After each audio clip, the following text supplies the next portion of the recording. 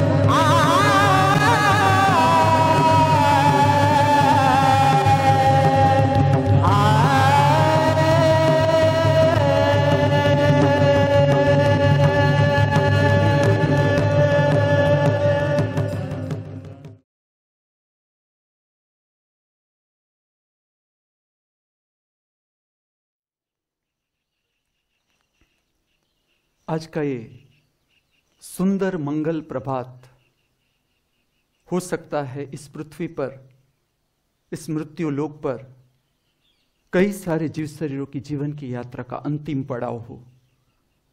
यह भी तो हो सकता है आज का ये सुंदर मंगल प्रभात इस पृथ्वी पर, इस मृत्यु लोक पर, कई सारे जीव शरीरों की जीवन की यात्रा का नया प्रारंभ हो।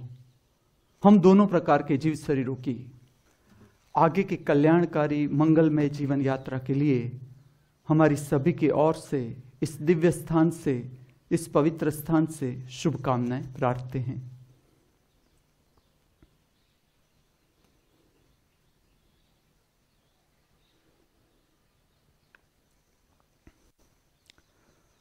महामृत्यु, महाअमृत विश्वविद्यालय, महामृत्यु, महामृत university one of the school is the school of spiritual science आत्मिक विज्ञान की पाठशाला इसके साथ संबंधित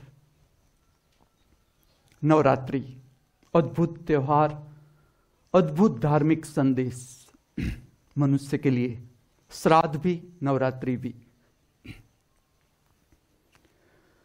जो धर्म है समझ का विकास है समझ का विकास इसलिए ज़रूरी है कि अगर बेहतरीन जीवन जीना है हमें, हर एक को जीना है, हर एक के अंदर की प्यास है, हर मनुष्य की प्यास है, खोज है, जीवन खोज है कि किस तरह से हम बेहतरीन जीवन जी सके। तो इसके साथ जुड़ता है समझ का विकास। तो जो श्राद्ध है, उसका संदेश इतना ही है कि मृत्यु का जो खौफ है या मृत्यु का जो भय है, वो हम पार कर सके कि नहीं? हर साल जब श्राद्ध आए, हमें ये समझना है। जिन शरीरों की मृत्यु हो गई, उसमें से हमें ये सीख लेना है कि हम भी, हमारा शरीर भी इससे पार नहीं है।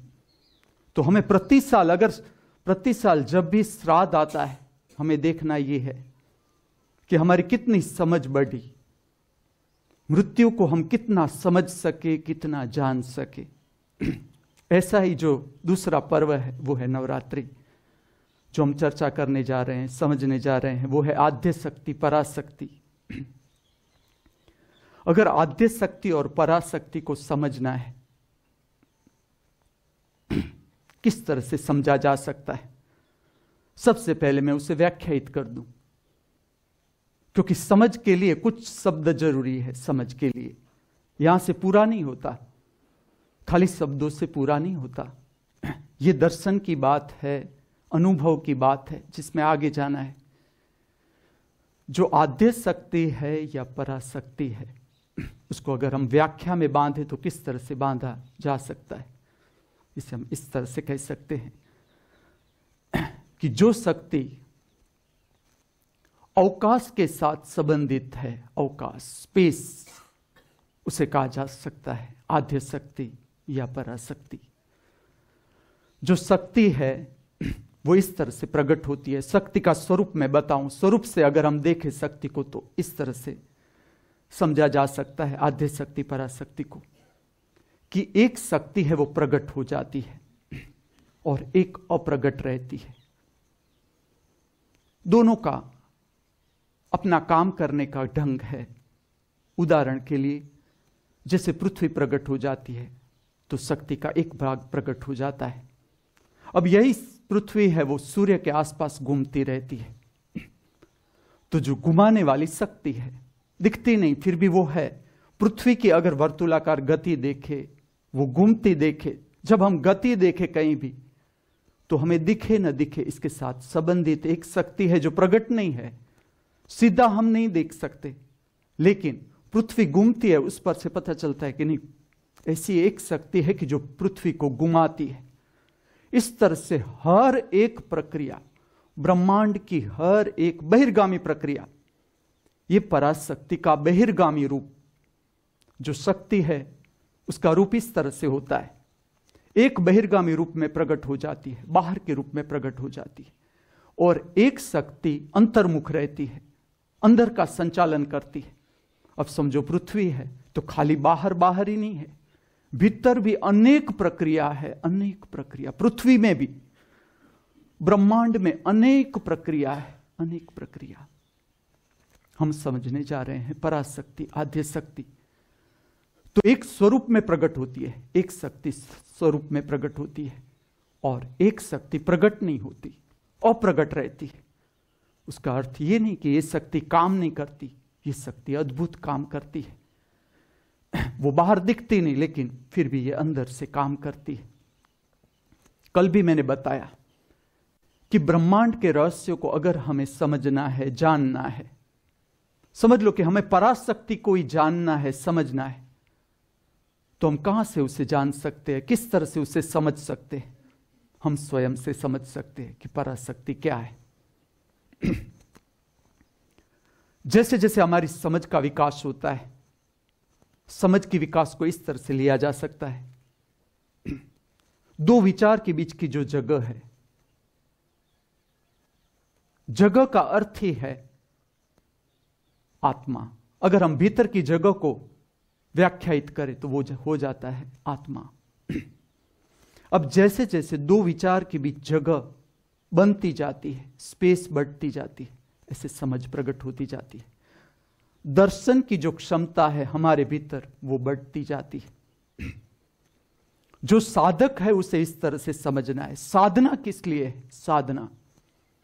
कोई भी साधना है, कोई भी साधना, उसका विज्ञान ठीक से समझना है। कि विज्ञान क्या है उसका? क्या मर्म है?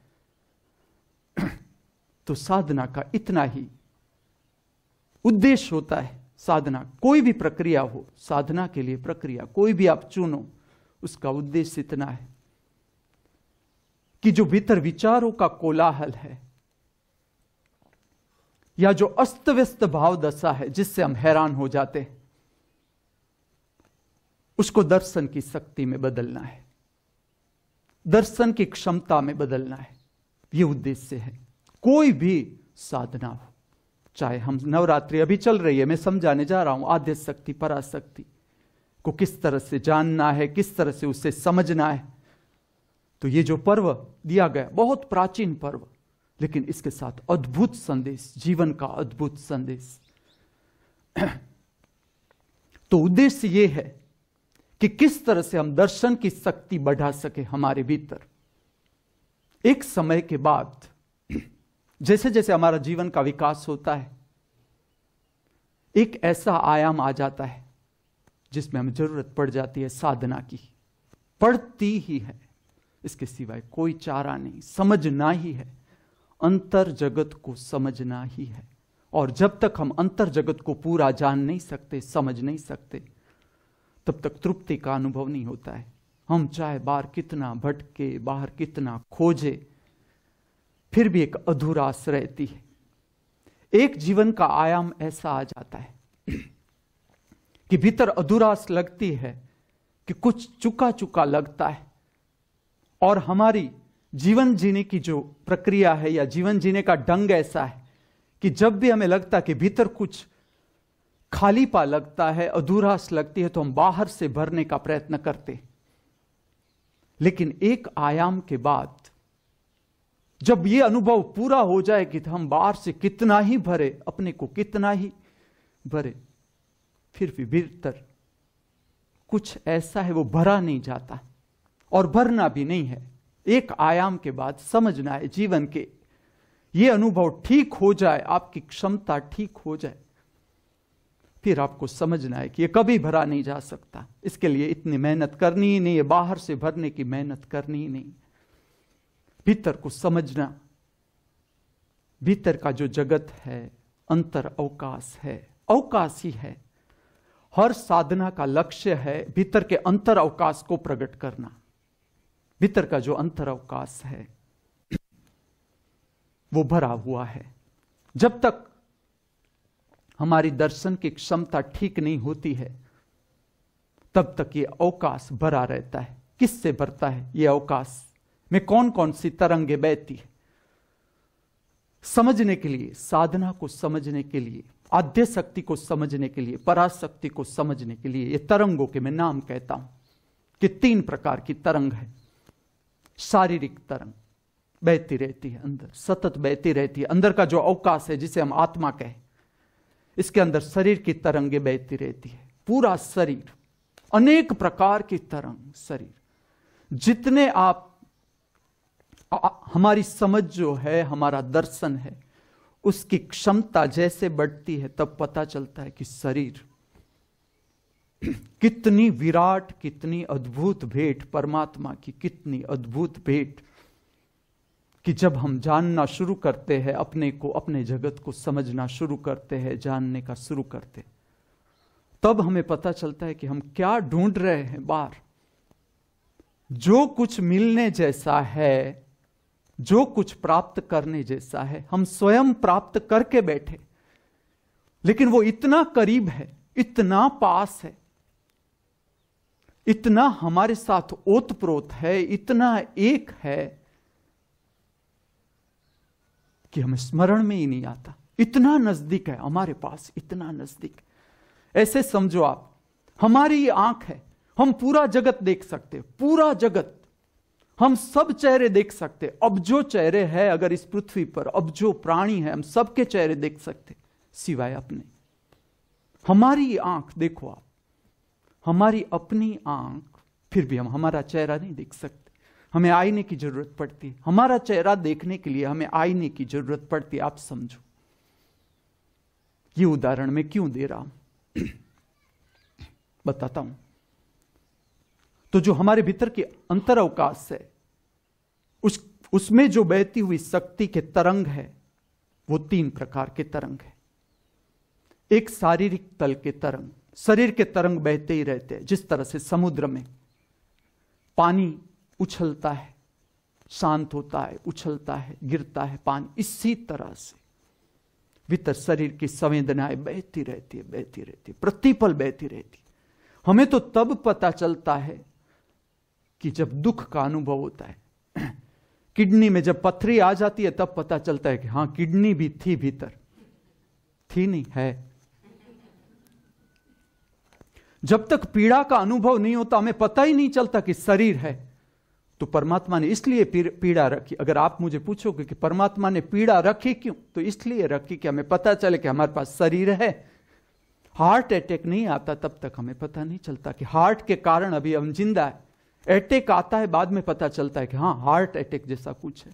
और अब तो हम इतने हार्ट अटैक से फेमिलियर हो गए हैं कि चार पाँच हार्ट अटैक तो कुछ लगते भी नहीं, क्योंकि इतनी तो बचत भी कर देते हैं। एक शरीर की तरंगे बहती है, भीतर के अवकाश में। इसी तरह से विचार की तरंगे बहती है, भीतर प्रतिपल बहती है। तुम्हें कुछ भी करना नहीं पड़ता। और इसी तरह से भाव की तरंग बहती है, भीतर। भीतर का जो अवकाश है, उसमें ये तीन तरह की तरंग प्रतिपल बहती रहती है, प्रतिपल। और ये भी कुछ अलग नहीं। ऐसा नहीं कि विचार की तरंग कुछ अलग है, भाव की तरंग कुछ अलग है, शरीर की तरंग तरंग कुछ अलग है। लेकिन समझने के लिए, विचार के माध्यम से समझने के लिए, मन के माध्यम से समझने के लिए, उसको सरल बनाने के लिए हम उसे तीन तरंगों में डिवाइड कर देते हैं, विभाजित कर देते हैं कि इस तरह से शरीर की तरंगे, सूक्ष्म तरंगे बहती रहती है, बहती रहती इसका अनुभव किस तरह से करना है? खोना नहीं है। जब भी आपके शरीर में कहीं भी पीड़ा हो, जैसे कि अभी आप बैठे हो, और मैं सदा आग्रह रखूँगा कि जब आप बैठो, आप रीढ़ सीधी करके ही बैठो, आपका आसन ठीक करो। और शरीर को इतना क्षमतावान बनाओ कि बिना टेके के आप बैठ सको। मैं बैठा हूँ, देखो, सिंहासन पर। टेका लेने का इच्छा होता है तो भी याद आता है कि ना ना, मैंने तो कह दिया कि बिना टेका बैठना है और बैठना ही है, कोई बड़ी बात नहीं। आप शरीर की शक्ति इस तरह से है। आप जिस तरह से उसका उपयोग करते जाओगे, शरीर परम शक्तिमान है। शरीर की शक्ति को आप जैसे समझते जाओगे समझते जाओगे। तो शरीर के पास से आप बहुत कुछ काम ले सकते हो। जैसे अभी आप बैठे हो, शरीर में पीड़ा होनी शुरू होती है। ऐसा लगता है कि अब जमना पैर है। हिंदी में इसे कहते दाइना। राइट लेग अगर उसकी घूंटी में। मुझे हमेशा दर्द होता रहता है, इसलिए मुझे उदाहरण यही आता है कि जमणे पग में अगर घूंटण में पेन पैदा होता है, दर्द पैदा होता है इसे हाथ में से जाने नहीं देना है। ठीक से देखना है कि पेन है क्या। अगर शरीर में कहीं भी पेन है, आपको क्षमता बढ़ानी है। इसका संबंध मैं ये किस लिए कहता हूँ? चलो, तपश्चर्या क्या है? आखिर में तपश्चर्या है क्या? किस तरह से हमें तपश्चर्या को समझना है? किस तरह से तपश्चर्या को करना है? अभी हम बैठे हैं और हमारी रीढ़ आपने सीधी कभी रखी नहीं। आपको लगता है रीढ़ सीधी रखने में और परमात्मा को जानने के साथ क्या लेना देना? बहुत कुछ लेना देना है। रीढ़ को सीधी रखो और रीढ़ में अगर पीड़ा हो, कहीं भी पीड़ा का अनुभव हो, उसे चुकना नहीं है। पूरे दिन में चुकना नहीं है। और होती ही होगी, क्योंकि कल सबने रास खेला है, ठीक? मैंने देखा सबने जितनी शक्ति थी, पूरी उलेच दी। मुझे डर भी था कि आज सुबह में मुझे चाय भी मिलेगी भी। जब तुम लोग खेल रहे थे तो मेरे भीतर जो भय पैदा हो रहा था, ये हो रहा था कि आज शाम का प्रसाद मिलेगा नहीं। क्योंकि सब खेल रहे थे तो मुझे लगता था पूरी शक्ति अगर उलझ गई तो फिर बाद में होगा क्या। लेकिन देखो, सब आ भी गए। मुझे लगता था आज तो मैं अकेला ही हूँगा, शायद बिना कैमेरा ही मुझे बोलना है। बोल लूँगा, चल। पीड़ा को समझना है। जब भी पीड़ा प्रकट हो, उसको समझना है। जितनी आपकी दर्शन की क्षमता होगी, आप देखोगे, पीड़ा को समझोगे, पीड़ा के सूक्ष्म तरंग है, सूक्ष्म तरंग, एकदम सूक्ष्म तरंग। हम कभी पीड़ा को देखते ही नहीं, समझते ही नहीं, थोड़ा माथा शुरू हुआ कि हम तुरंत, मुझे तो एक्सप्रो एसप्रो ऐसा एक गोली का नाम याद है, पता नहीं, आज लोग क्या ले ले रहे हेमंत को पता होगा। लेकिन तुरंत ले लेते हैं, तुरंत। अभी थोड़ा ऐसा लगता है, बुखार जैसा, तुरंत। डॉक्टर के पास जाए तो वो इंजेक्शन तैयारी होता है, पहले से भरे हुए रखते हैं इंजेक्शन को। जैसा कोई कहता है कि बुखार आया है, तुरंत पूछे बिना लगा देते हैं इंजेक्शन। लेकिन जब भी पीड़ा पैदा हो, आप खड़े हो, बैठे हो, कहीं भी पीड़ा का अनुभव अगर आपको हो हाथ से जाने नहीं देना है समझना है ये शरीर की तरंग है सूक्ष्म तरंग पीड़ा की इसे समझना है। इसके साथ आत्मा की जो शक्ति है वो बंधी हुई है। शरीर है वो प्रकट हुई आत्मा है। प्रकट शक्ति है। हमारा ही शरीर हम समझने जा रहे हैं आद, आद्य शक्ति पराशक्ति। कहाँ से जान सकते हैं? हमारे भीतर से। इसको समझने के लिए कहीं बाहर दौड़ धाम करने की ज़रूरत नहीं। शशि को अमेरिका जाने की कोई ज़रूरत नहीं। यहाँ बैठे बैठे, वो अपने को जान सकता है, पराशक्ति को समझ सकता है। इसी तरह से विचार की तरंग है, विचार की। उसे भी हाथ से जाने नहीं देना है। जब भी समय मिले, आपका ध्यान जाए, जब भी। एक क्षण के लिए भी ध्यान जाए कि मेरे भीतर यह विचार चल रहा है, उसका दर्शन ठीक से कर ले। क्योंकि जैसे जैसे आप देखने की प्रक्रिया पर ध्यान देने लगते हो, आपके भीतर दर्शन की क्षमता बढ़ती जाती है। यही तो बढ़ा नहीं कि मृत्यु खा जाए शरीर को, इससे पहले दर्शन की क्षमता बढ़ा लेनी है भीतर। तो जब भी ध्यान जाए, आपको पता चले, अभी भी आप मुझे सुन रहे अचानक अंदर पता चले कि ये विचार चल रहा है मेरे भीतर। जब मैं कुछ बात करूँगा, देखना, आपके भीतर आपका मन है, आपका साम्राज्य तो जब मैं बोलता हूँ आपके भीतर आपके विचार चलते हैं। और जब भी ध्यान जाए कि कौन सा विचार चल रहा है समझ लो आप सब्ज़ी काट रहे हो अचानक आप, आपको पता चलता है कि मेरे भीतर ये विचार चल रहा है। तुरंत ध्यान दो तुरंत।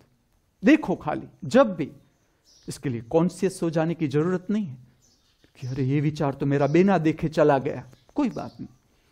मन इस तरह से घूमता है कि तुमने जो आज विचार नहीं देखा, वो कल आएगा।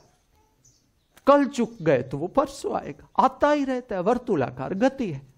सतत पैदा होता रहता है, मिटता रहता है, पैदा होता रहता है, मिटता रहता है। जिससे हमें अंतर बनाना है। ये अंतर बनाना है इससे, क्योंकि ऐसे मन के साथ संबंध नहीं रखना है। ऐसे मन के पीछे हम चलते जाएँगे चलते जाएँगे, हम कहीं नहीं पहुँचेंगे। क्योंकि ये मन जो अभी एक विचार पैदा करता है, फिर मिट जाता है विचार। थोड़ी देर अगर आपके भीतर एक इच्छा हो रही है थोड़ी देर अगर आप रुक जाओगे, इच्छा विलीन हो जाएगी। ये आपकी क्षमता ऊपर, क्षमता के ऊपर आधारित है कि कितनी क्षमता है देखने के भीतर। तो एक इच्छा पैदा होती है, इच्छा विलीन हो जाती है। अगर आप देखने की क्षमता है तो इच्छा विलीन हो जाती है भीतर। एक विचार प्रकट होता है। समझ लो, क्रोध की भावना प्रकट होती है तो उसके साथ उसके विचार पैदा हो जाते हैं। नफरत की भावना पैदा होती है तो उसके साथ ऐसे विचार पैदा हो जाते हैं। शरीर की तरंग ऐसे हो जाती। लेकिन आप अंतर करना सीखोगे, उसे प्रोत्साहन नहीं देना है। अगर आप प्रोत्साहन नहीं दोगे, ईंधन नहीं दोगे, बैठ जाएगा। क्रोध अपने आप, थोड़ी क्षणों के बाद क्रोध नहीं रहेगा, बदल जाएगी भाव दशा बदल जाएगी। लेकिन इसकी तरंग है। तुम्हें पता चले न चले, प्रति क्षण, जिस तरह से बाहर का अवकाश है। ऐसा समझ लो कि अभी हवा नहीं आ रही है तो हमें पता चलता है कि नहीं, अभी हवा नहीं आ रही है, गर्मी हो रही है। लेकिन सूक्ष्म तरंगे है, हवा की भी सूक्ष्म तरंगे है, और भी हमें समझ में ना आए ऐसी अनेक तरंग है, अनेक। इस तरह से आप समझो कि आप जितने मेरे सामने बैठे हो, सबके पास अगर एक एक मोबाइल है अगर आप किसी का नंबर लगाते हो और कोई आपका नंबर लगाता है तो वो आपका कांटेक्ट कर सकता है मोबाइल के माध्यम से। ये तो इंस्ट्रूमेंट हम बाहर से समझ रहे हैं। ये तरंग कहाँ से आती है? ये तरंग हम देख नहीं सकते। ये जो ध्वनि की तरंग आती है मोबाइल तक, एक व्यक्ति एक जगह से मोबाइल करता है, तुम्हें नंबर लगाता है और तुम्हें यहाँ घंटी बजती है मोबाइल में, तुम बात करते हो मोबाइल से। तो इसके बीच, तुम्हारे बीच, दोनों के बीच कम्युनिकेशन हो रहा है। इंस्ट्रूमेंट से कम्युनिकेशन हो रहा है, लेकिन ये बीच की जगह है। ऐसे तो अपार तरंग है, अनेक तरंग, जैसे जैसे विज्ञान खोजता जाएगा। ये बहिर्गामी विज्ञान का काम है कि बाहर का जो विज्ञान है, काम करता जाएगा, काम करता जाएगा। रहस्य मिलते ही जाएँगे, मिलते ही जाएँगे, मिलते ही जाएँगे। लेकिन इसकी भी एक सीमा है। इस सीमा से आगे तुम रहस्य जान नहीं सकते। बाहर की एक सीमा है। इससे आगे तुम इंद्रियगत रूप से तुम ब्रह्मांड के रहस्य है, उसे समझ नहीं सकते। क्योंकि फिर वो एक सीमा है। इससे आगे विज्ञान जा नहीं सकता। क्योंकि जब विज्ञान उसे पार करने के लिए पार करने का समय आता है तो पृथ्वी का अंत का समय आ जाता है। इस तरह से विकास होता है। फिर पृथ्वी नष्ट हो जाती है, फिर पैदा हो जाती है। इसी तरह से अंदर का अवकाश है। तुम अंदर समझते जाओ समझते जाओ, समझते। इतना अनंत विस्तार अनंत विस्तार। जो जाता है, भीतर जाता है। ऐसी क्षण आ जाती है कि जानने वाला बचता ही नहीं। इतना अपार विस्तार। इसलिए तो मौन का महत्व है। धार्मिक प्रक्रियाओं का एक उद्देश्य ऐसा है तुम्हें समझ में आए, न आए। लेकिन भीतर एक ऐसी प्रक्रिया, जिसने जाना, उसने ऐसा जाना कि मौन ज़रूरी है। भीतर प्रविष्ट होने के लिए मौन ज़रूरी है। क्योंकि शक्ति चाहिए, भीतर प्रविष्ट होने के लिए भी शक्ति चाहिए। जैसे अभी हमें पृथ्वी से ऊपर उठना है तो शक्ति चाहिए। इसी तरह से भीतर प्रवेश करना है, अगर भीतर की ऊंचाई पर जाना है तो शक्ति चाहिए। ये शक्ति हम लेंगे कहाँ से? ये जो शक्ति है, वो मौन से मिल सकती है हमें कि भीतर जितनी ऊंचाई पकड़नी है, ऐसा होता है कि जैसे जैसे जैसे तुम ऊंचाई पकड़ते जाते हो भीतर की, इससे तुम्हें पता चल सकता है कि भीतर तुमने कितनी ऊंचाई को छुआ है। अंतर मौन प्रकट होता जाता है। जैसे जैसे तुम भीतर के विस्तार की ओर जाते हो, भीतर के विस्तार की ओर जाते हो अंतर मौन प्रकट हो जाता है, भीतर मौन प्रकट हो जाता है। ऐसी क्षण आ जाती है कि तुम संपूर्ण विलीन हो जाओ। भीतर के जो विचार के तरंग है, वो संपूर्ण समाप्त हो जाते। भीतर की एक ध्वनि है, सूक्ष्म ध्वनि है। तुम देखोगे, अनुभव करोगे कि विचार दर्शन भी कर सकते हो तुम्हें। दर्शन के रूप में भी आता है विचार। तुम देख सकते हो विचार कि हाँ ये मुझे आज दिखा। ये व्यक्ति आया मेरे स्वप्न में या विचार में ऐसा व्यक्ति आया मेरे भीतर। वो तुमसे बातचीत भी करता है। उसकी आकृति भी दिखती है, वो बातचीत भी करता है। ऐसी सूक्ष्म ध्वनि भीतर, ये भीतर की शक्ति। लेकिन तुम जैसे जैसे जैसे भीतर की ऊंचाई को पकड़ते जाते हो, पकड़ते जाते हो। इसी तरह से होता है। समझ लो कि तुम बाहर के अवकाश में अगर यात्रा करना शुरू करो, यात्रा करना शुरू करो। तो पूरा बहिर्वकाश है, उसमें परम मौन है, परम मौन। इसी तरह से भीतर भी परम मौन है। इस परम मौन को आत्मा का संगीत कहा गया है। जिसने जाना, उसने ऐसा जाना कि यह संगीत है। यह आत्मा की ध्वनि है। जो मौन है, वो भी ध्वनि है।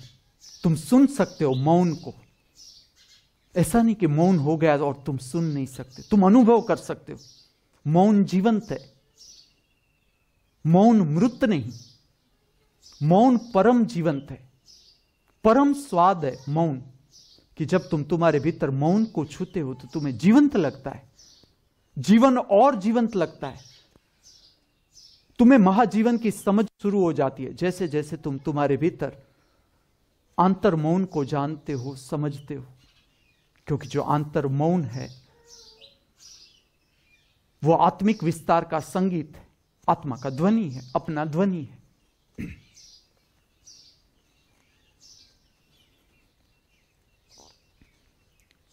पराशक्ति है, आद्य शक्ति है, इसका एक प्रगट रूप है।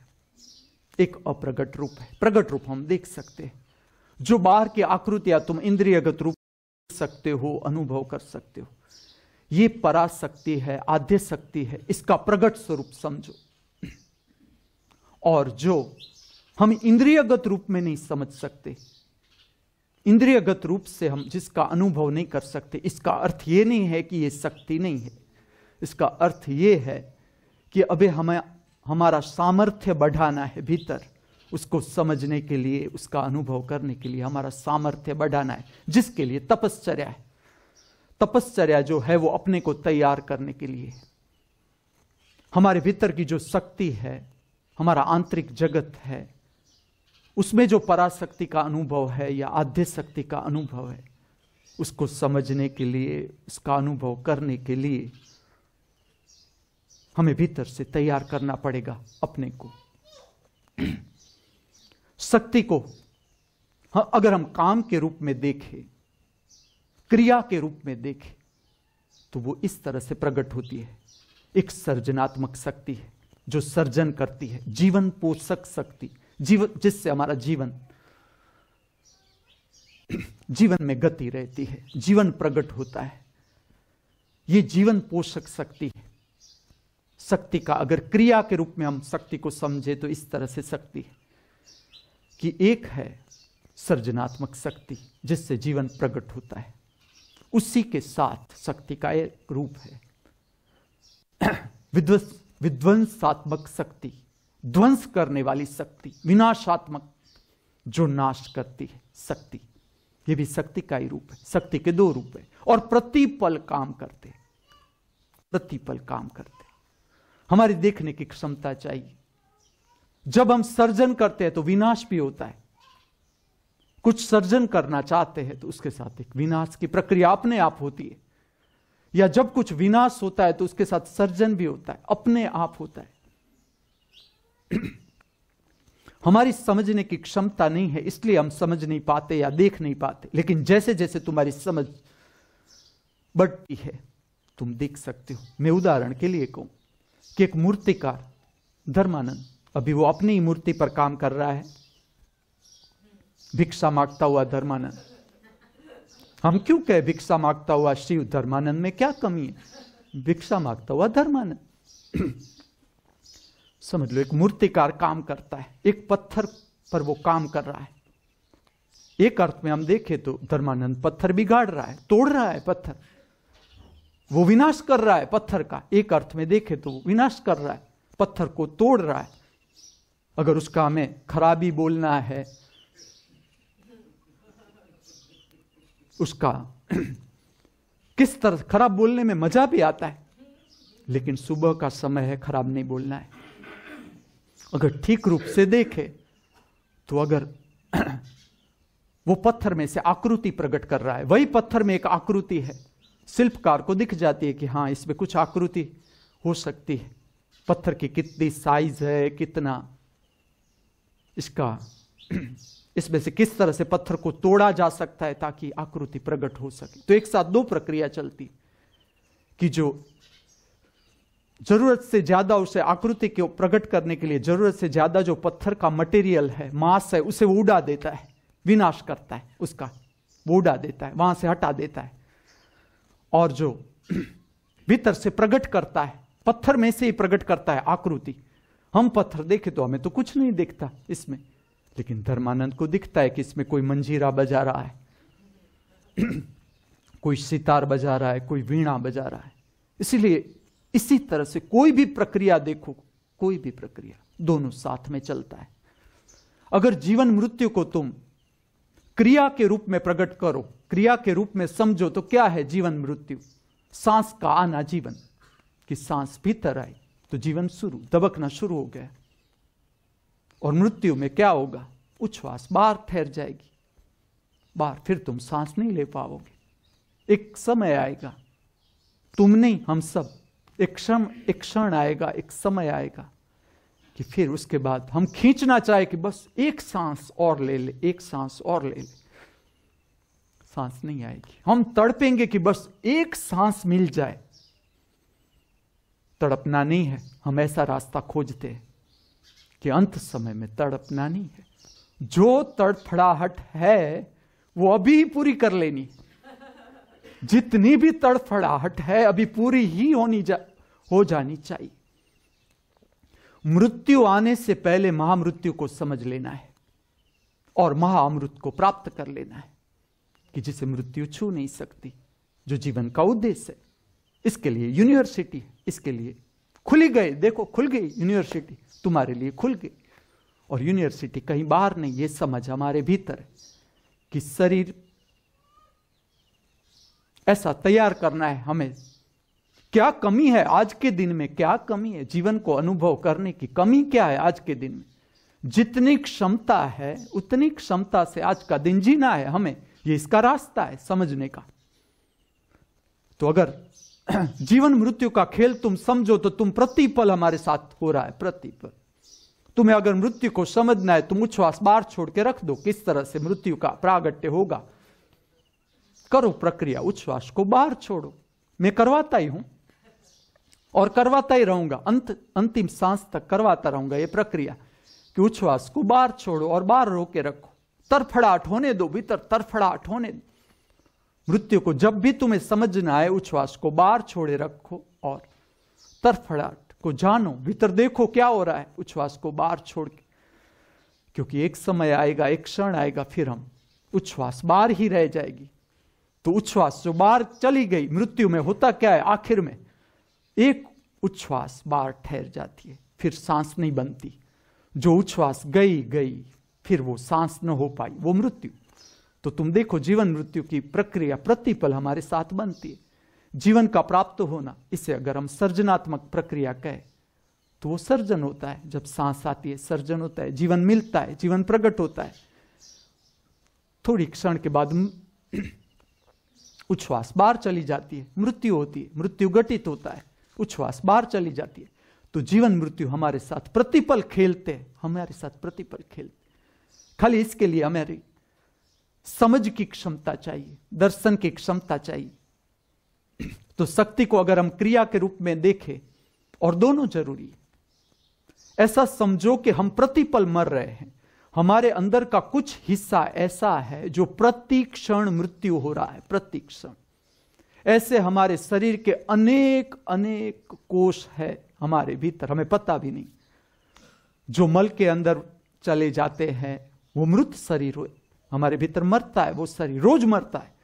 हमारे भीतर का कुछ शरीर का हिस्सा है, वो रोज मरता है।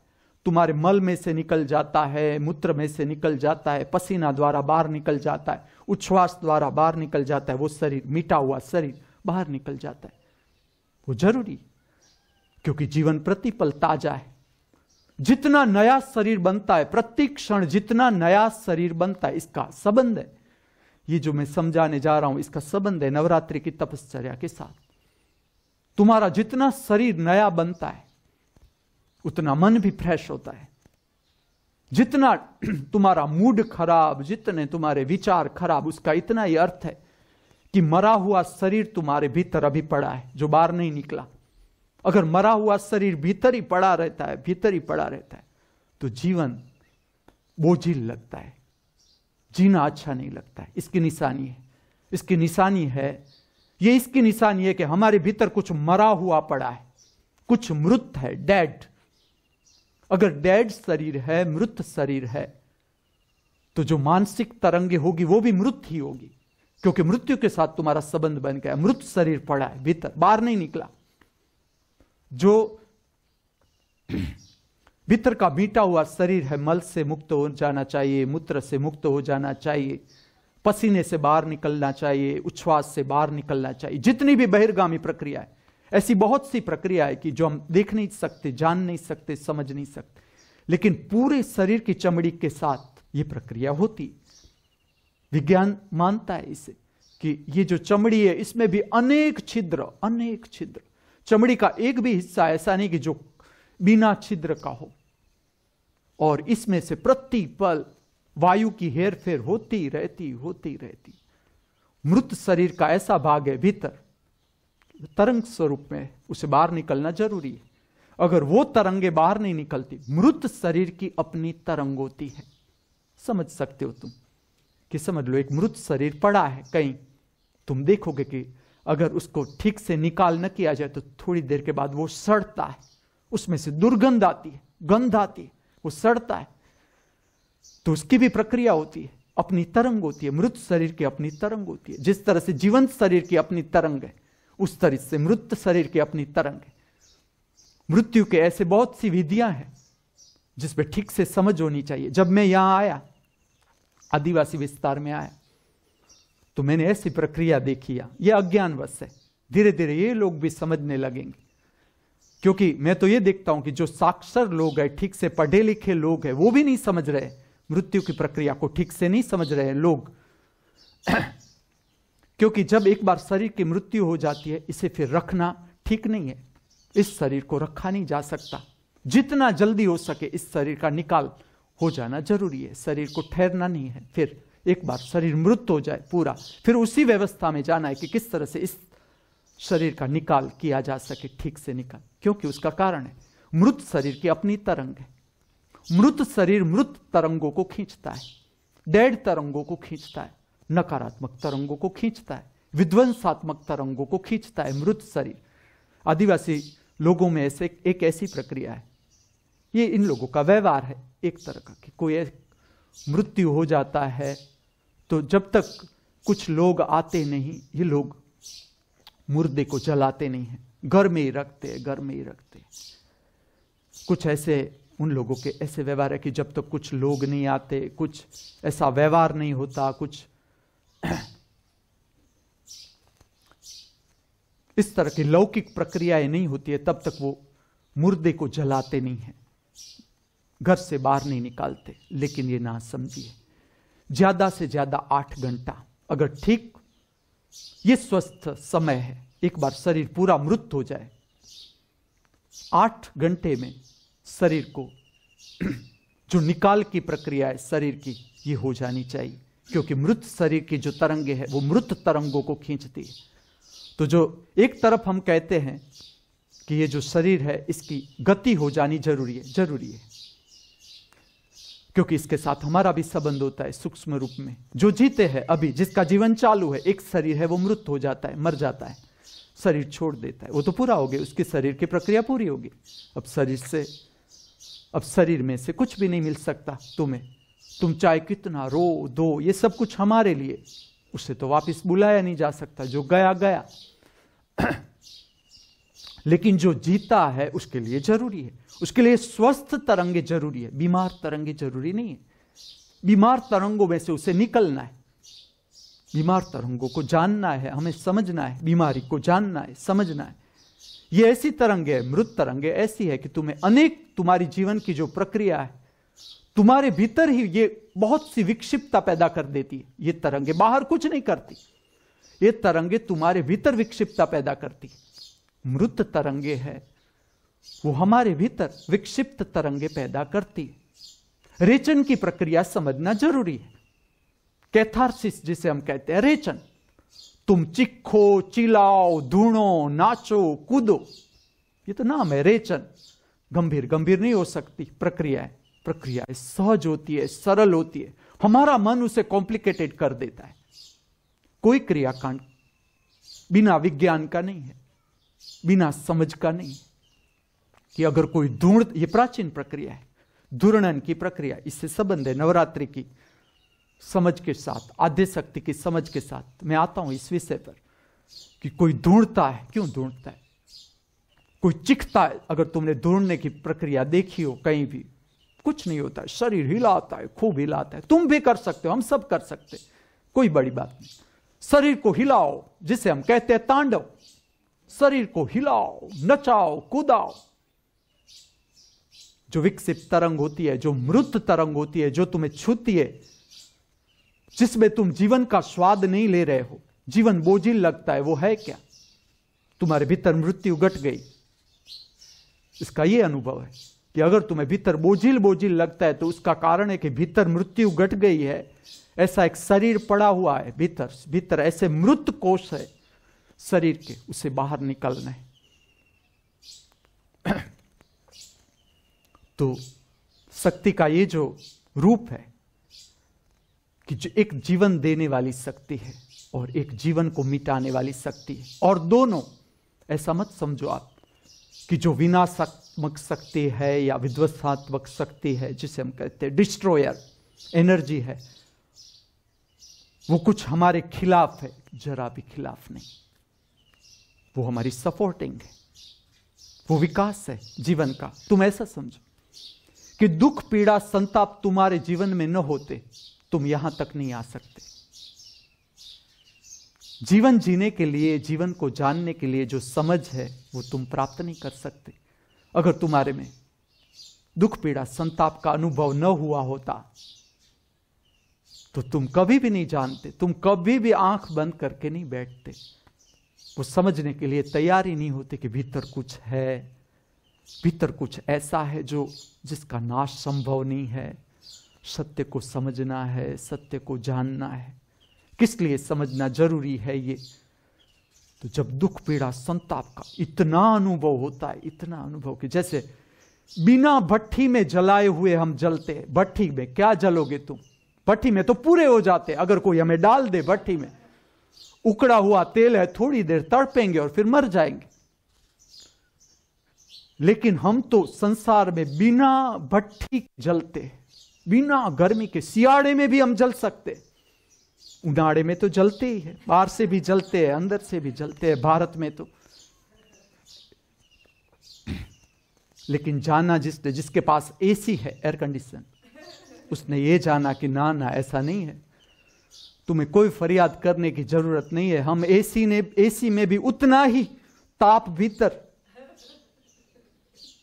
अनुभव करते जिसके पास एसी है, उसने जाना है कि एक रखे एसी दो रखे, तीन रखे, लेकिन फिर भी भीतर ठंडक नहीं आती। भीतर वही की वही, गर्मी गर्मी बढ़ती जाती। जो जीवन पोषक शक्ति है, उसको समझाने के लिए पुराने जो शास्त्र है, उसमें शब्द दिया गया, देव या देवी। जहाँ पर देव या देवी है, वो जीवन पोषक, जीवन को प्रकट करने वाली शक्ति है, उसे माना गया देव या देवी। और जिसने बहुत गहराई से संदेश देना चाहा, उसने इस तरह से इसे प्रकट करना चाहा कि नहीं।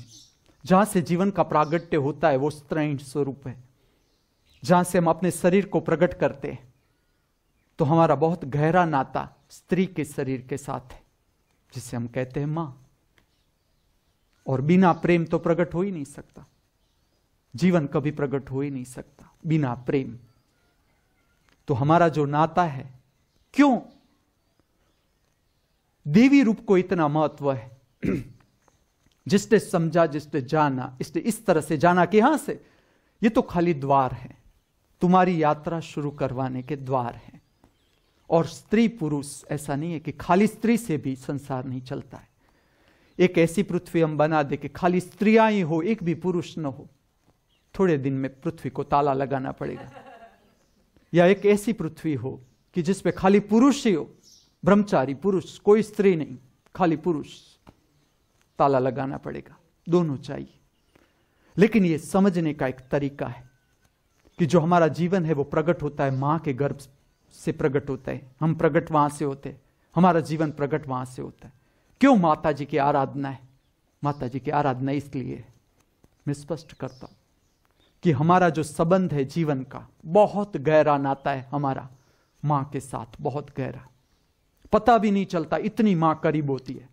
और ऐसा नहीं, ये मैं जब माँ कहता हूँ तो मैं कोई पर्टिकुलर व्यक्ति के साथ संबंध उसका नहीं है।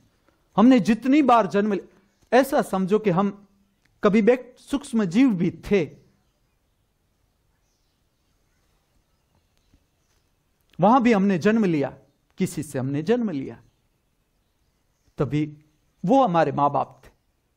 हमने प्राणी योनि में भी जन्म लिया, वनस्पति योनि में भी जन्म लिया, हम जाने न जाने, ये विकास है, जीवन का विकास है।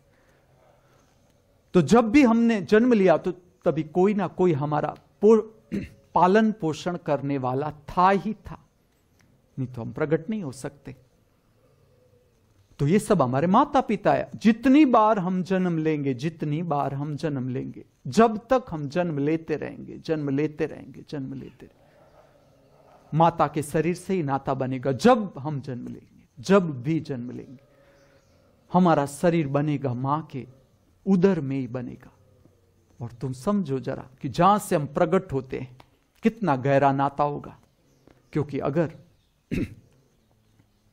प्रेम गहराई है, बहुत गहराई। जितना जानते जाए हम प्रेम को, अनंत विस्तार प्रेम। ये प्रेम का परिणाम है। जो हमारा जन्म होता है, वो प्रेम का परिणाम है। और कोई संभाल कब सकता है? जब उसके भीतर प्रेम हो, माँ के भीतर। अगर प्रेम नहीं होता तो स्वीकार नहीं कर सकती। जो आत्मिक शक्ति प्रकट होती है, माँ के गर्भ में प्रगट होती प्रकट होती है, वो तब होती है। उसे पता चले न चले, ऐसी बहुत सी बातें हैं। हम अपने को खाली वन परसेंटेज जानते हैं। बाकी जो हमारे भीतर ऐसी घटनाएँ हैं, ऐसी अनेक घटना जिसे हम नहीं जानते, जब तक हम अपने को समझना शुरू न कर सके या समझने की प्रक्रिया जो है, जानने की प्रक्रिया है, दर्शन की प्रक्रिया है। उसमें जब तक हम पूरा न उतरे, तब तक हम नहीं जान सकते। तो माँ के भीतर अद्भुत प्रेम की प्रक्रिया प्रकट होती है, तब वो एक आत्मा का स्वीकार करती है। तुम जरा देखना कि तुम्हारे भीतर स्वीकार भाव कितना है। पूरे दिन में हमें यह देखना है, स्वीकार आत्मा का लक्षण है। प्रेम का जो प्रागट्य है, प्रेम का जो संबंध है, वो आत्मा के साथ है, स्पेस के साथ। तपश्चर्या का एक उद्देश्य यह है कि तुम्हारा स्वीकार भाव बढ़ाना। तुम्हें जीवन का जितना स्वाद लेना है, जीवन को जितना समझना है, उसमें स्वीकार भाव कितना है, तुम्हारे भीतर।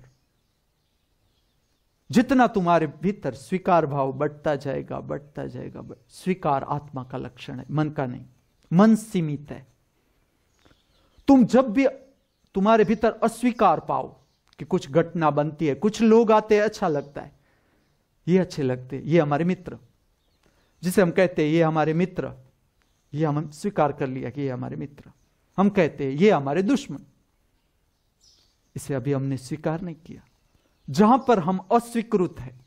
ऐसा परिस्थिति में होता है। कुछ परिस्थिति अच्छी लगती है और वही परिस्थिति दुखद हो जाती है। समझ लो कि तुम्हें भूख लगी है और मैं कहूँ कि चलो संतरा ले लो। तुम एक संतरा खाता हो, खाते हो अच्छा लगता है। दो खाते हो। मौसमी, संतरा नहीं। पहला प्रेफरेंस मौसमी। एक मौसमी अच्छी लगती है, दूसरी अच्छी लगती है, तीसरी अच्छी लगती है, चौथी, पांचवी, छठी। फिर तुम्हारा मुँह जैसा मेरा मुँह हो गया है। और अगर बाहर से हम न बनाए तो भीतर से ऐसा हो जाता है कि ना ना, अब नहीं चाहिए।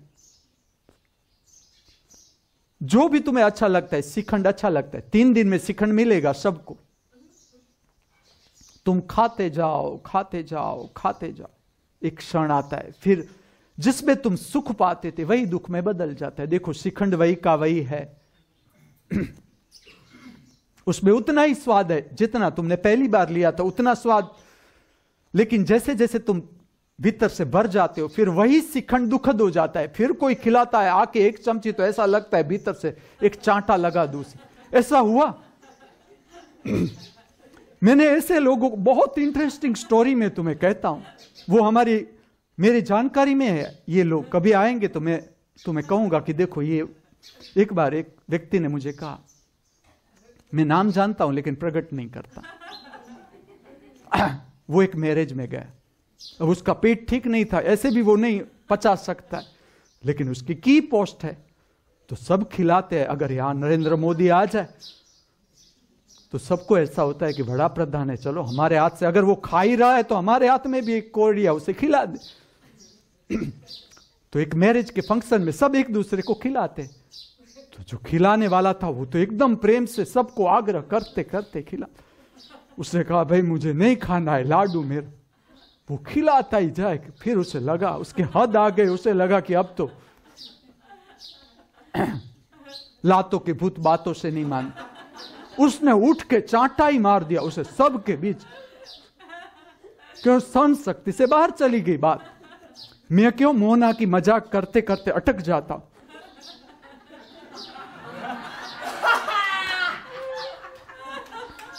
मोना की शक्ति मुझे पता है, लुहार है। सोनार के सौ गा और लुहार का एक गा पड़ जाए तो सोनार तक कहाँ चला गया, पता भी नहीं। एक हद तक उसकी मज़ाक, उसका मुँह देख लेता हूँ। वो हंसता हुआ है तो फिर मैं कहता हूँ, चलो, आगे जाने दो। लेकिन जहाँ से उसके मुँह में से मुझे दांत नहीं दिखते, वहाँ से मुझे ये उदाहरण याद आता है कि उसने भरे मैरिज में सब दिखते रहे। अरे, हुआ क्या है?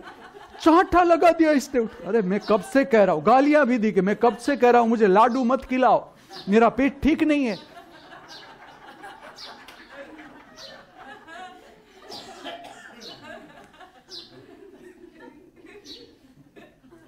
आध्य शक्ति जग गई।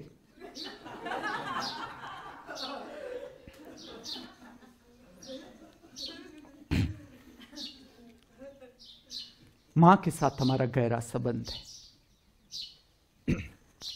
देवी को अगर महत्व है, या कि माँ के रूप को अगर महत्व है तो इसलिए महत्व है कि जब भी हम जन्म लेना चाहेंगे, जब भी, हमें माँ का शरीर ही खोजना होगा, माँ का शरीर। इस तरह से तरंग खोदती है। पिता को ध्यान में नहीं लेती। जब हमें जन्म लेना है, ये उन लोगों की प्रक्रिया है कि जिसमें से वो पसार होते हैं और माँ ग्रहण करती है, पुरुष की शक्ति वो ग्रहण कर लेती है, पिता की शक्ति वो ग्रहण कर लेती आत्मा कभी पिता को नहीं खोजती, आत्मा माता को खोजती है, गर्भ खोजती है।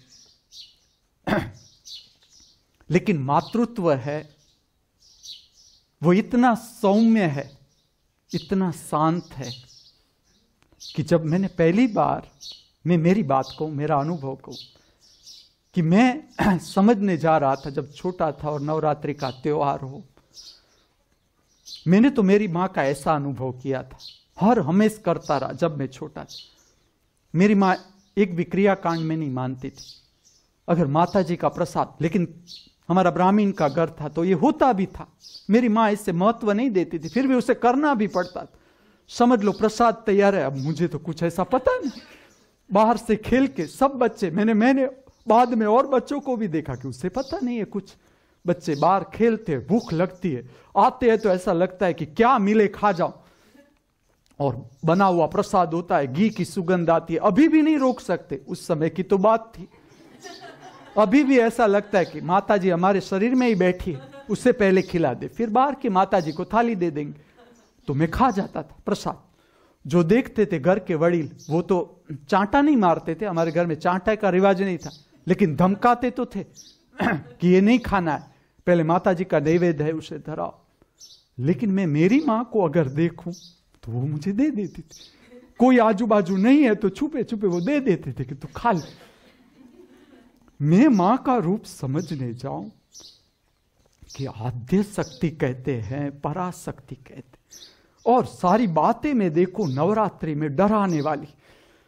माँ का रूप भी ऐसा उसके हाथ में त्रिशूल भी है।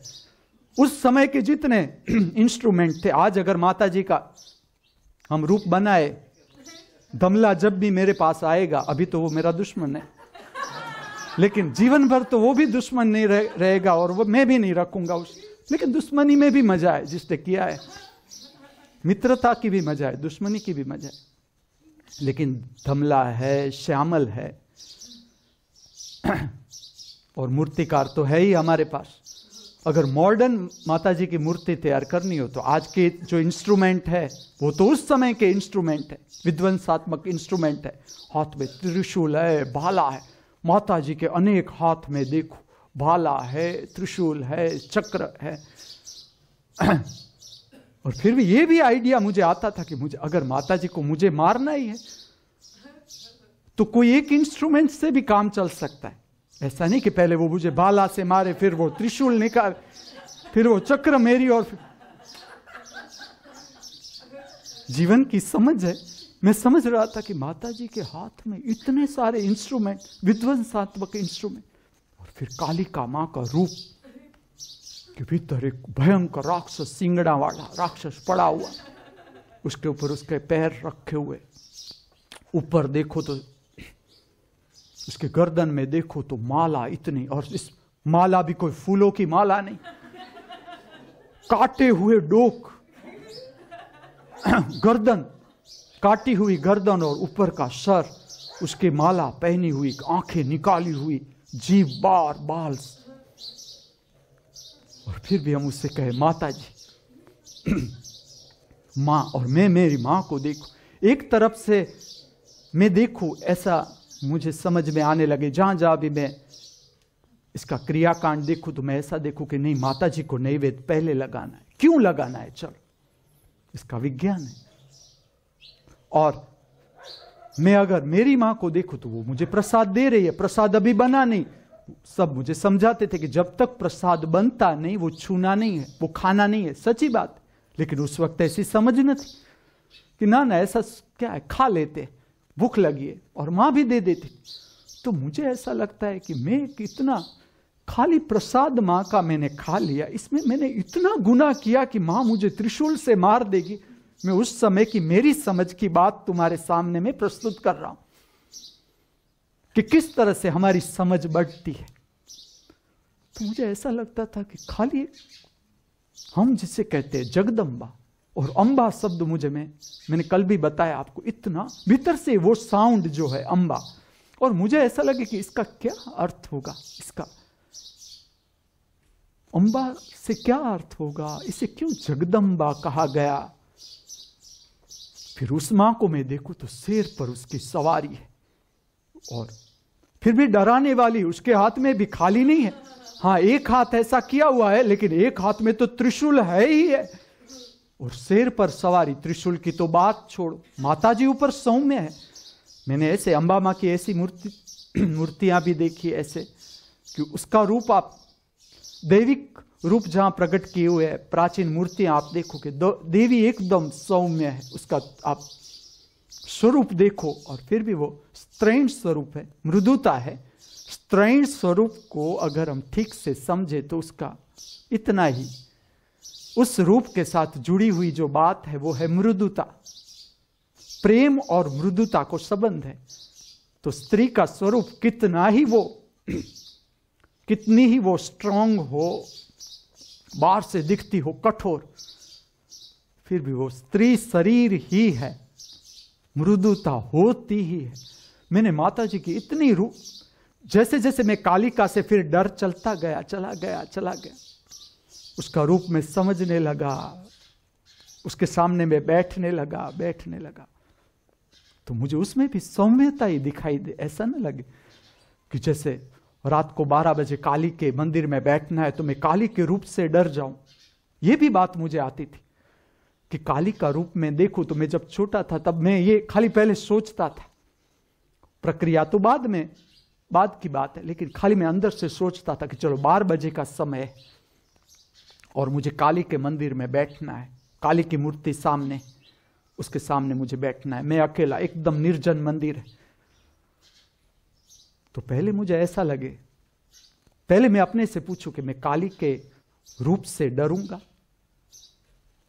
कि वो तो कहते हम काली का माँ है, उसकी साधना करते हम आराधना करते तो मैं डरूँगा उसके सामने, अगर मैं बैठा हूँ और काली का रूप है तो उससे मैं डरूँगा, ये पूरी उसका शरीर पूरा काला जीप बाहर निकाले हुए, हाथ में इतने खड़ग, भाला, त्रिशूल, ऐसे विनाशात्मक शस्त्र। तो मैं अपने से पूछता था कि मैं डरूँगा इससे? नहीं डरेंगे। जब तुम प्रेम करने लगते हो, जब स्वरूप से तुम्हारा नाता बनता है बनता है जिस स्वरूप तुम्हें आकर्षित करता है, उससे तुम्हारा नाता बनता है। फिर तुम्हें डरावना नहीं लगता। जब तुम्हें डरावना नहीं लगता, तब तुम स्वरूप की गहराई में जा सकते हो। उससे पहले नहीं। क्योंकि जब तुम, जब तक तुम डरे हुए हो, तब तक तुम दर्शन नहीं कर सकते। क्योंकि डर का अर्थ है, भीतर कुछ हिल रहा है। आत्मा तो हिलती नहीं। जब भी तुम तुम्हारे भीतर पाओ कि कुछ हिल रहा है। तुम भीतर से हिलते हो, ऐसा तुम अनुभव करते हो कि धरती कंप रहा है भीतर। तो तुम समझो कि अभी आत्मा नहीं। तुम जहाँ ठहरे हो, वो आत्मा नहीं है। जिसके ऊपर तुम हो, वो भीतर मन का साम्राज्य है, मन की तरंगे है। भावात्मक तरंगे है, मन की तरंगे है, शरीर की तरंगे हैं, जिसे हम कहते हैं असत्य। इसके साथ हमारा संबंध होता है, तब तब तक हम भीतर से, वो भी हिलती है, हम भी हिलते हैं। लेकिन जैसे भीतर की जो स्थिरता है, इसके साथ संबंध बन जाता है, फिर हम भीतर से हिलते नहीं। और जब तुम भीतर से हिलते नहीं, तभी दर्शन की गहराई प्रकट होती है।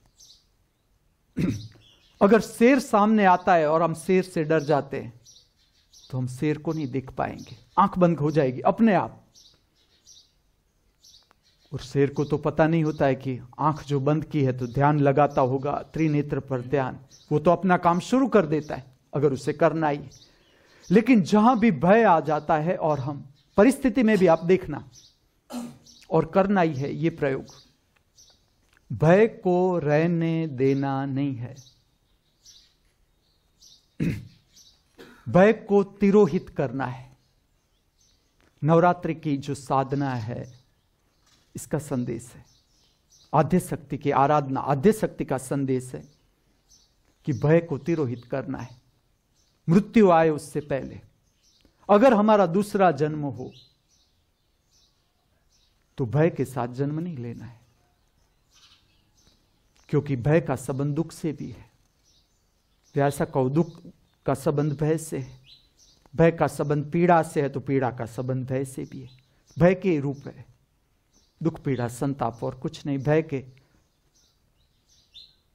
भय का प्रागट्य और जैसे जैसे भय तिरोहित हो जाता है, तुम्हारे भीतर दर्शन की क्षमता प्रकट हो जाती है। और जब तुम्हारे भीतर दर्शन की क्षमता प्रकट हो जाती है, तब ही तुम जान सकते हो कि ये स्वरूप क्यों है। कि इतनी माता जी, मैं देखू कि माता, फिर तो मैंने ऐसा सुना, पढ़ा कि हिंदू धर्म में तो छत्तीस करोड़ देवता, बाप रे बाप। छत्तीस करोड़ देवता। अब हम तो दो, चार, पाँच की पूजा कर सकते हैं, उसको नवड़ा सकते हैं।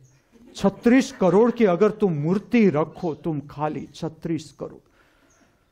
हम कब उसको नवड़ावे, कब उसको खिलाए, एक को खिलाए, एक भूखा रह जाए, वो हमारा कुछ खराब कर दे। छत्तीस करोड़ को तो हम कब तृप्त कर?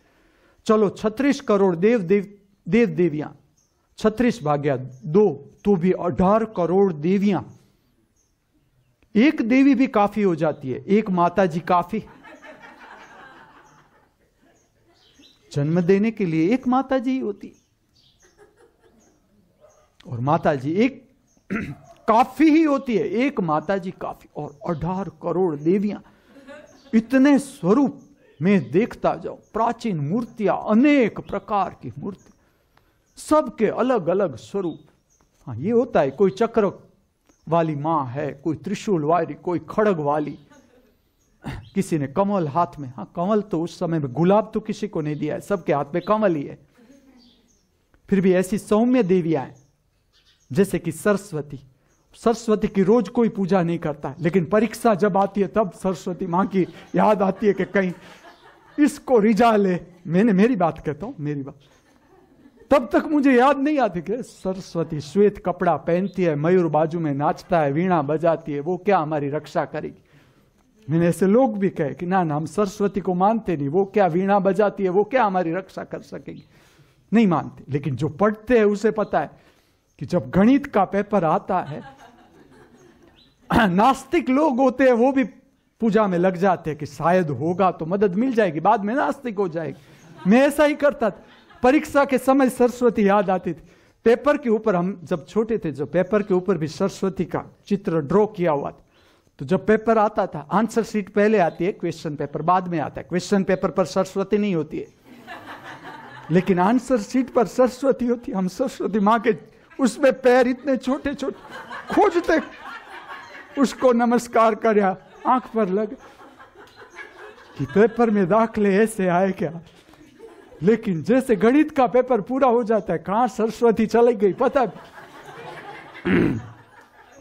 लेकिन लक्ष्मी ऐसी मैंने देखी कि लक्ष्मी को आस्तिक हो या नास्तिक, कोई नहीं छोड़ता। लक्ष्मी की विधि अगर कोई भी बताए, और लक्ष्मी भी नहीं, लक्ष्मी भी बाद में तो छोटी पड़ने लगी। जैसे जैसे समृद्धि बढ़ने लगी, अबज अबज के बाद मुझे आता नहीं। अबज के बाद क्या होता है और जानना भी नहीं। लेकिन फिर लक्ष्मी से प्रमोशन हो गया। माँ लक्ष्मी। और मैं देखू, देना बैंक, उसमें लक्ष्मी के हाथ में सोने के सिक्के जा रहे सो मुझे लगता है कि किसे ऐसा अनुभव हुआ होगा कि जिस अब लक्ष्मी जब थी तब ये सोने के सिक्के थे। विष्णु के जमाने में लक्ष्मी थी। विष्णु के साथ लक्ष्मी को, लक्ष्मी देवी को, लक्ष्मी माँ को विष्णु के साथ संबंध है। विष्णु की पत्नी मानी गई। तो मैं, मुझे ये लगे कि लक्ष्य विष्णु के समय में सिक्के थे कि नहीं? विष्णु के समय में सिक्के तो थे नहीं। उतना सोने का भी महत्व नहीं था। इतनी समृद्धि का भी इतना महत्व नहीं था। था, लेकिन इतना नहीं। तो मुझे ऐसा लगे कि ये देना बैंक वालों ने खोजा कहाँ से कि लक्ष्मी के हाथ में से सिक्के जा रहे हैं। और फिर भी खाली सादी लक्ष्मी नहीं, मैं किसी को भी पूछूँ, किसकी पूजा करके आए? महालक्ष्मी तो मैं उससे पूछूँ कि लक्ष्मी की नहीं करते आप? ना ना, लक्ष्मी की नहीं, माँ लक्ष्मी की करनी। लेकिन ये देवी मैंने ऐसी देखी कि जिसकी पूजा सब करते समृद्धि में सबको रस है। महालक्ष्मी क्या है? लक्ष्मी क्या है? पार्वती क्या है? जगदम्बा क्या है? दुर्गा माँ क्या है? बहुचरा माँ क्या है? इसके स्वरूप अलग अलग क्यों है? किस लिए है? इसका आद्य शक्ति के साथ क्या संबंध? अगली दिव्यवाणी में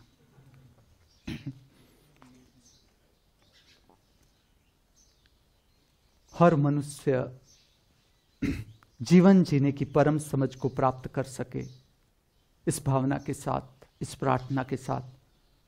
मुझसे जो बोला, आपसे जिसने सुना, उस परम दृष्टा स्वरूप, परम साक्षी स्वरूप परमात्मा के चरणों में मैं मेरा वंदन अर्पण करता हूँ। मेरा वंदन स्वीकार करे, अस्तु।